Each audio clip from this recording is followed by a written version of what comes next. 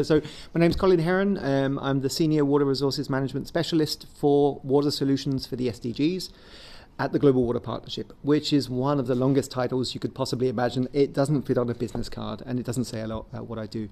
Um, but what I do is actually so um, I'm in charge of the Global Water Partnership's efforts to support uh, integrated water resources management within the context of SDG 6.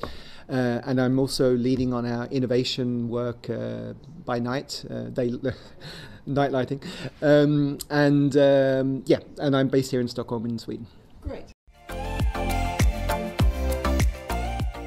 It's a very good question. Um, I am from the UK originally, from the, from Kent, uh, the Isle of Sheppey, uh, more specifically, uh, which most people have probably never heard of, and which is a good thing.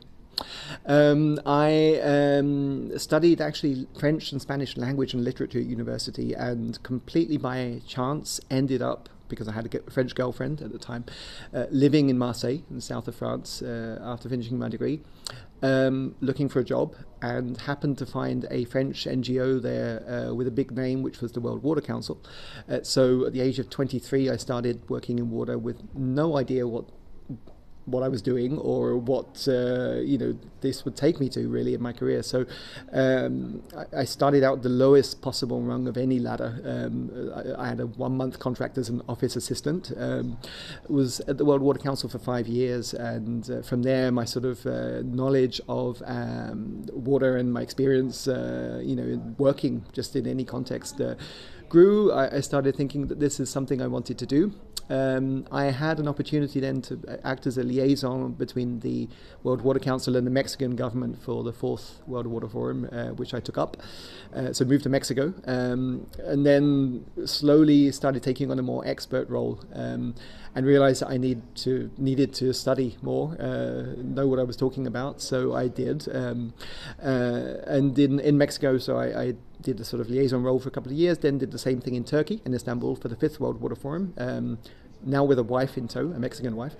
Um, after that, went back to working for the Mexican government. Uh, again, my expertise growing throughout this time, uh, not having had any start uh, in water, but uh, by this point, 10 years later, I think uh, I was, I considered myself at least a water expert.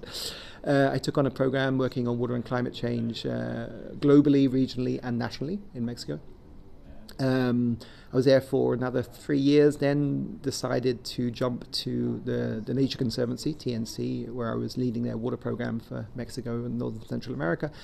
Uh, so working there on nature-based solutions, uh, you know, the, the, enabling environment, financial schemes, and so on.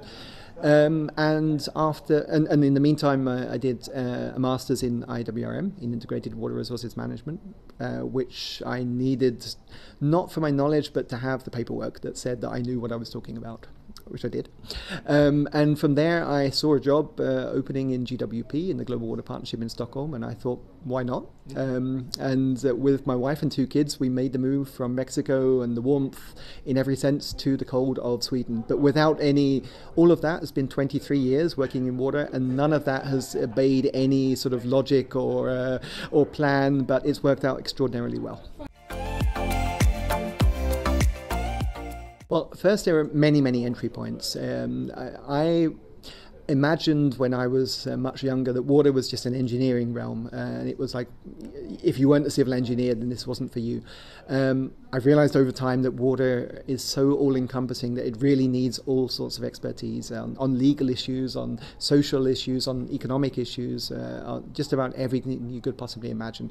So, water, I would say, is not something that we just need to leave to a certain area, and, and everyone, every single individual can be a water expert. Um, uh, in fact, we, we need everyone to be a, a, water expert because water is part of everyone's life uh, in, in some ways. Um, looking for a career in water, I, I think it's uh, it's important to try different disciplines then, and uh, you know, studying uh, from from every possible angle is, is, really helpful. Doing jobs that perhaps uh, you know internships, uh, learning opportunities, and really using those in a very proactive way. Um, and uh, not being scared to sort of try new things. I think in my own career, at least, every, at every single step, I've taken a leap of faith that I can do this. Um, I haven't known in any case, and I've not told any of my employers in any case that I didn't, you know, wasn't fully uh, sort of uh, 100% uh, sure. But I've I've managed uh, in every single case to sort of uh, pull through and and actually prove to myself that I could do these things. Um, so pushing your own limits as far as you possibly can um, is one thing I think I would recommend for any young person looking to have a career in water.